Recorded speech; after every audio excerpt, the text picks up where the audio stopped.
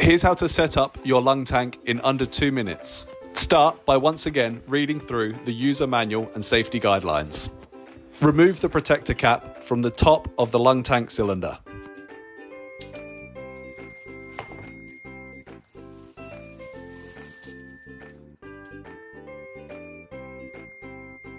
Next, remove the rubber protector from the bottom of the regulator and screw the regulator onto the cylinder tightly.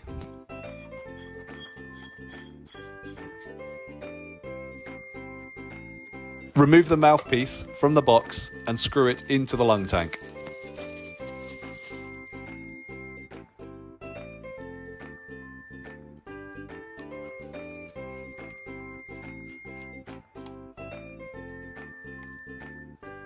In the box is a small bag of replacement parts. Keep these safe.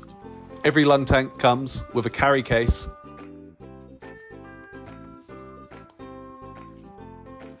and a safety wrist strap.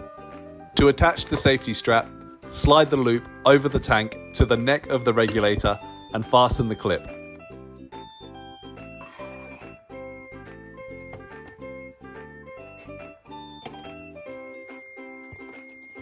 Now your lung tank is set up, head over and check out our other video tutorials on refilling, replacing filters and adjusting the tank airflow.